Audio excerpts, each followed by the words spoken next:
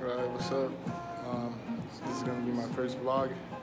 Basically, gonna be doing is just venting my um, progress in boxing.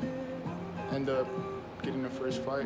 Boxing really intrigues me. To see like how I could do in, in a fight. So.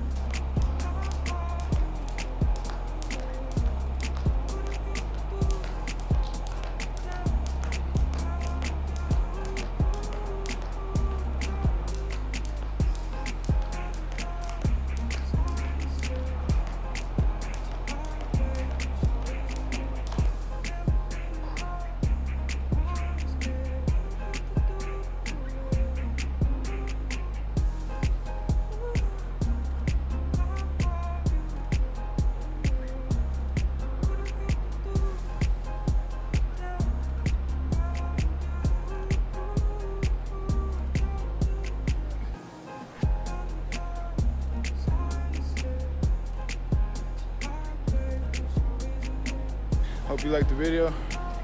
Don't forget to like, subscribe, share.